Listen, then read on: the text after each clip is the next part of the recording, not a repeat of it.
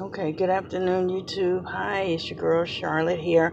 I am going to talk to you briefly while I am driving um, about being positive and staying positive about what you feel is important in your life, especially if you um, are doing your own business and you feel like you just don't get that support like you should well, everybody's not going to be in favor of your of your success. So let's get that down for number 1. Everyone is not going to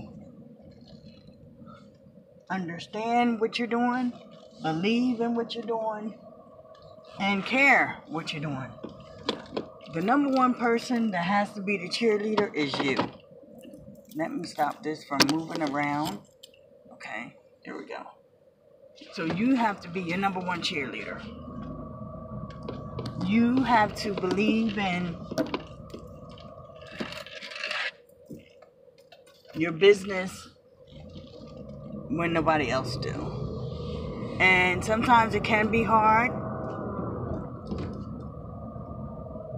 and sometimes it can be a challenge um, because after a while you start thinking to yourself okay well hmm, if this person don't think it's good and this person don't think it's good for even though if you don't change your mindset and grab a hold of your mind and tell yourself the reasons why you're in business for yourself why you started your business and um, why you believe it's going to work, you will be like those people. You will start thinking like them. And then, for even know it, all that you worked so hard for is down the drain. Because you start thinking just like the naysayers. There are many, many nay, many more naysayers out here than a little bit.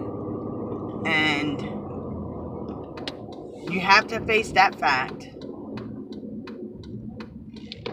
And then the other thing is you just got to believe what you're doing is worth it.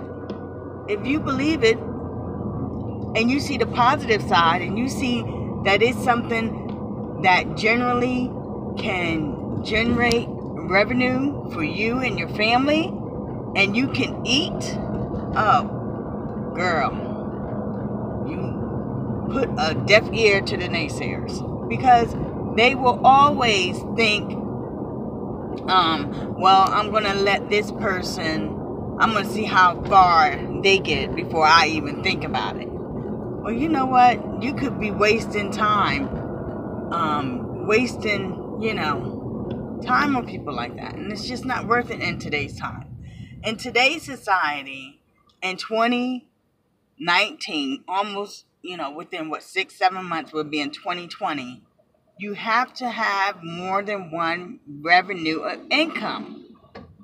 You have to.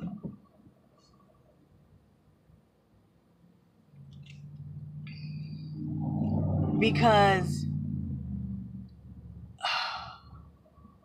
one income is just not going to cut it it's not cutting it right now. And as we get into 1920, 1922, 19, you know, 25, 26, as we get more and more years, if, if the Lord allow us to be blessed to see these years to come, um, the prices of things is going to be different. We're not going to be de- dealing much less with dollars. Um, everything's going to be probably on a card. So if you're in that stream of business or if you know anything about changing over, um, you need to pay attention. Pay attention to what's going on. People are out here talking and people are out here giving bits and pieces of information that people need to listen to to be more successful um, in the years to come. So, if you are, like I said, serious about what you do, you see the um, the generating of revenue and income from that. Do not listen to naysayers. Hold on to what you believe in and keep striving and doing what you do. Because there are people who are just going to be negative because they're negative and have been negative all their life and they're going to be that way.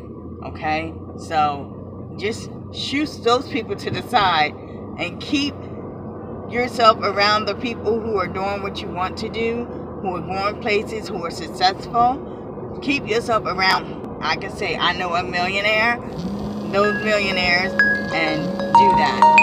Okay, I'll talk to you guys later.